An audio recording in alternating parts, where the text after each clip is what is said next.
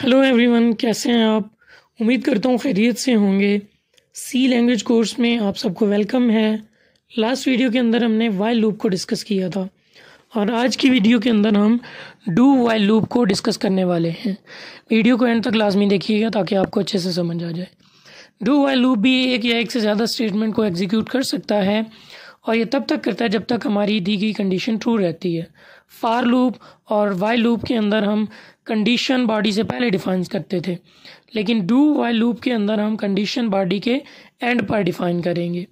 तो आज भी हम एक टेबल ही प्रिंट करने वाले हैं।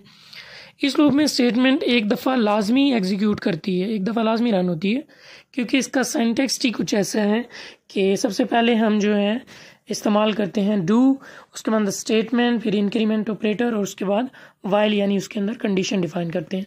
तो मैं यहाँ पे एक, दो इंटीजर डिफाइन करता हूँ। एक एन के नेम से और दूसरा आई के नेम से। इंटीजर टाइप दो वेरिएबल डिफाइन करने वाला वालों में यहाँ पे एक एन और दूसरा आई आई की वैल्यू हम पहले से वन सेलेक्ट कर देंगे, पहले से दे देंगे वन और एन की वैल्यू हम यूज़र से लेंगे। और भी, और ये जो लूप है ना, ये और भी काफ़ी जगह पे इस्तेमाल होता है। और ऐसी जगह पे भी ये लूप इस्तेमाल होता है, जहाँ पे हमने एक ना एक बार जो है ना कंडीशन को कंडीशन लगाने से पहले एक ना एक दफ़ा प्रोग्राम को रन लाजमी करना होता है।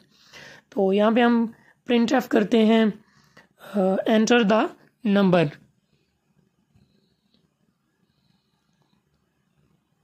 जो हमने यूज़र से लेना है यूज़र और उसको स्कैन करवा लेते हैं स्कैन एफ़ के ज़रिए। स्कैन एफ़ और इसके अंदर परसेंटेज डी उसके बाद हम कॉमा लगाएँगे। कॉमा लगाने के बाद एम परसेंट का साइन वैल्यू असाइन करने के लिए एन को। और कि जो वैल्यू यूज़र एंटर करे, वो एन को असाइन कर दी जाए। उसके बाद हम क्या करने वाले हैं? डू लगाएँगे। मतलब ये काम करो। कौन सा काम उसके अंदर हम स्टेटमेंट लिखेंगे? हम एक या एक से ज़्यादा स्टेटमेंट्स भी दे सकते हैं यहाँ पर। तो हमारा काम फ़िलहाल सिर्फ़ एक स्टेटमेंट के साथ है।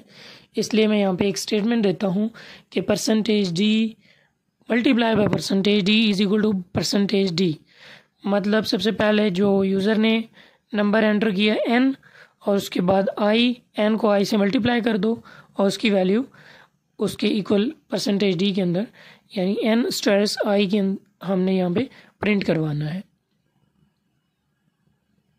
एन मल्टीप्लाई बाय आई और यहाँ पे कॉमन लगे मैं यहाँ पे एक और चीज़ मिस करूँगा आपको समझाने के लिए। मैं यहाँ पे इंक्रीमेंट ऑपरेटर जो है, वो नहीं यूज़ कर रहा। सबसे मैं कंडीशन डायरेक्ट यहाँ पे लगा लेता हूँ वाइल और उसके अंदर कंडीशन लिखेंगे। सॉरी ये इन्वर्टेड कॉमास नहीं लगाने आपने। आई इज़ लेस देन और इक्वल टू टेन और ये मैं यहाँ पे इसको हटा देता हूँ। ये हमने गलती से बाय मिस्टेक लगा दिया। और यहाँ पे हम लगा देंगे सेमी कॉलन कंडीशन के बाद सेमी कॉलन तो चलिए इसको रन करते हैं सेव करते हैं। तो आप देखिएगा कि मैंने इंक्रीमेंट ऑपरेटर यहाँ पे नहीं यूज़ किया। तो इंक्रीमेंट ऑपरेटर मैंने नहीं इस्तेमाल किया। तो उसका असर क्या होता है? कि वो जो है, आगे मतलब कंडीशन तो हमारी फुलफिल नहीं होगी, ठीक है? तो इसको स्टेटमेंट को बार बार रन करता चला जाएगा। आप देखिएगा यहाँ पे। ये कंपाइल हुआ और यहाँ पे मैंने कोई कंडीशन दे दी। तो ये देख रहे हैं आप, ये आगे आगे मूव कर रहा है हमारा कर्सर क्यों? क्योंकि मैंने यहाँ पे कंडीशन दी ही नहीं है, ठीक है? आई हमने जहाँ पे वन रखा था, वो वन को ही बार बार जो है ना प्रिंट किए जा रहे हैं। तो इसका मतलब है कि हमें यहाँ पे पहले क्या है? इंक्रीमेंट ऑपरेटर भी यूज़ करना पड़ेगा। इंक्रीमेंट ऑपरेटर यूज़ करेंगे, तभी वो हमारी कंडीशन तक पहुँच सकेगा। यहाँ पे तो जब हम इंक्रीमेंट ऑपरेटर यूज़ ही नहीं कर रहे तो आप देख रहे हैं कि हमारी कंडीशन तक वो पहुँच ही नहीं रहा, बल्कि आई जो है, वो वन से ही मतलब एन जो है, वो आई से ही आई की वैल्यू वन है तो वन से ही मल्टीप्लाई किए जा रहे हैं।